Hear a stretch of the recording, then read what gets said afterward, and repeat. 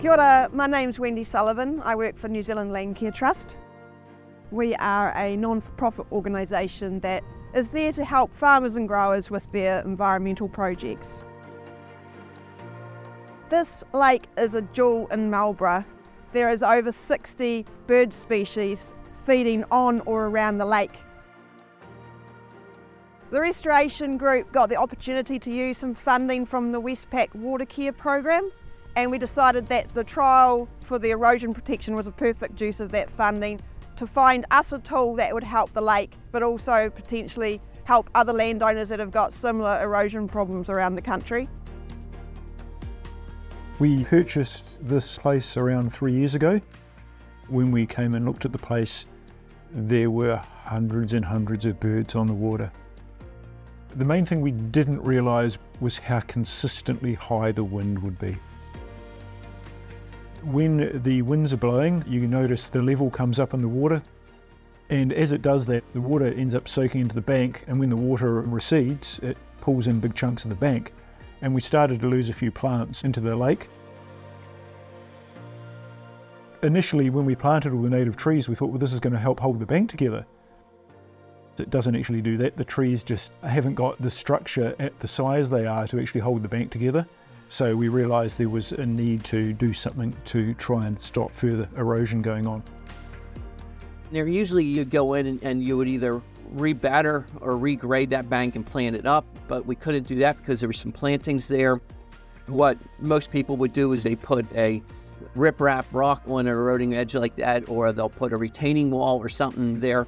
And that wasn't an option there because we wanted it to be a more natural area. This lake is a refuge, and so I was thinking, all right, what if we put the bales up and stack them up against the thing and establish Carex secta and use those to reestablish that little bit of an edge.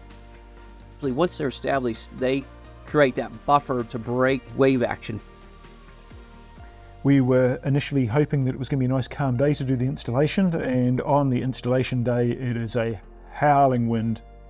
We decided we would then stake out the hemp matting on the bank roll it down off the top of the bank across the floor of the lake and then pack the lucerne bales in in a pattern, roll the hemp matting back over the top of the lucerne and back up to the bank as a giant bag basically, and then use biodegradable stakes to stake right through the matting into through the bales and into the ground rather than have the waves go smack against it, which is the problem with the energy, it was going to be sloped like that so the water could run in and disperse its energy into movement rather than impact. We started putting the installation in and it was going really well, but within an hour we could see the hemp matting was breaking down. It was literally in front of our eyes and the whole thing was poised to fail. But what I loved about the day was everyone got together. We like brainstormed on the fly and came up with this cool solution of putting in the barrier to break some of that wave erosion. And we rushed out and chopped down a whole lot of branches off the poplars along the lake edge and wove them into the bank to form a breakwater, which worked incredibly well. The carex grasses are very fast growing and they have large root structures. The root structure grows out through the lucerne before it breaks down and rots away and forms a, a, big biomass down there. And of course, that also will collect silt and form its own environment and its own stable structure. Fine silts, when they come into lakes, they settle down and they will fill in those pores around the rocks. We lose that habitat for our microinvertebrates. Other things comes in with those silty soils is phosphorus that's locked into the soil and sunlight doesn't get down into the bottom of the lake.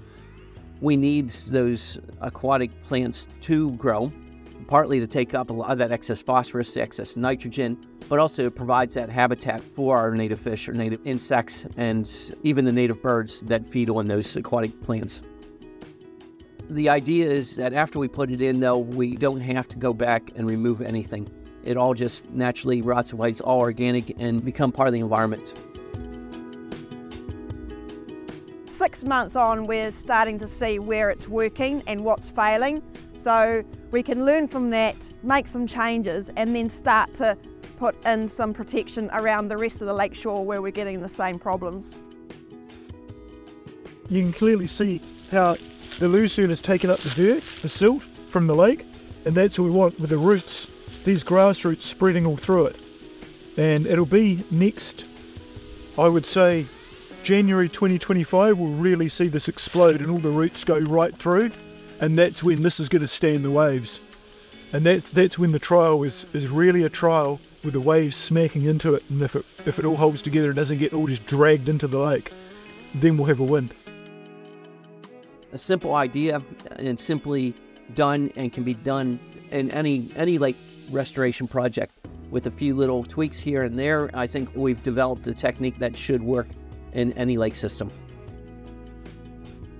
I really enjoy collaborating with landowners and other agencies because everyone comes to the table with different skills and we've all got the same passion, we've all got the same desire to protect the lake.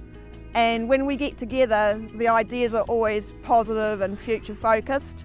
Uh, it, it's been really rewarding and in the last two years that the group's been together, I think we've made some massive inroads. So if you think that this solution could help you and your problem, the easiest thing to do is to go onto the New Zealand Landcare website and make contact with us and we'll be able to help talk you through what to do and how to do it.